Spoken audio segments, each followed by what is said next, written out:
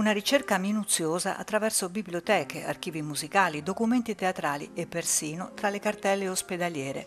Un impegno certosino per raccontare la storia bella e drammatica di Giuseppe dell'Orefice. Il libro, firmato da Elsa Flacco, è dedicato al musicista e direttore d'orchestra abruzzese, protagonista della scena napoletana dell'Ottocento. Quello di Dell'Orefice fu un canto intensissimo ma breve, interrotto dalla morte prematura avvenuta in manicomio. La figura umana e artistica del musicista racconta Elsa Flacco, già autrice di una bellissima storia su Francesco e Tommaso da Celano, si è pian piano delineata i suoi successi, le delusioni, gli entusiasmi, il dolore, la malattia, la morte solitaria mi si sono incollati addosso, diventando dolce e malinconica compagnia. Diciamo che il tentativo di riscoperta di Giuseppe dell'Orefice passa anche attraverso la riscoperta delle sue opere.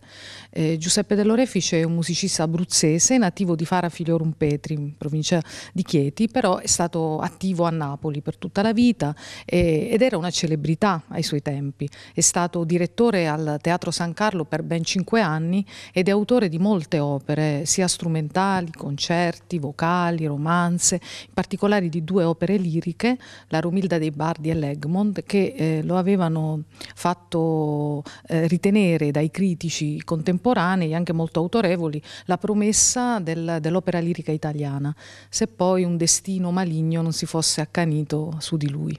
Purtroppo una serie di circostanze che non voglio neanche eh, rivelare perché spero che eh, possiate leggere la biografia, eh, lo hanno portato appunto a purtroppo a privare Napoli e l'Italia di un talento veramente geniale, perché così era considerato.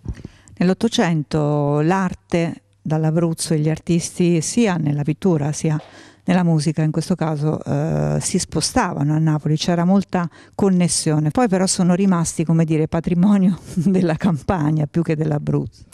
Sì, infatti anche Giuseppe dell'Orefice nel suo paese natale da alcuni anni eh, diciamo, è ricordato anche con un premio a lui intitolato e adesso i suoi pronipoti insieme con il direttore d'orchestra Maurizio Colasanti che è l'amico appunto che mi ha fatto conoscere Giuseppe dell'Orefice stanno portando avanti appunto quest'opera di riscoperta perché vogliono restituire Giuseppe dell'Orefice alla, anche all'Abruzzo oltre che, che, a Napoli. Per tutta la vita non dimenticò eh, mai l'Abruzzo, infatti l'ultima sua direzione, quando già era eh, alla vigilia della malattia, è stata proprio al Teatro Marrucino, eh, per cui insomma è importante che l'Abruzzo eh, riscopra eh, questo personaggio che naturalmente ha però un, un respiro nazionale almeno.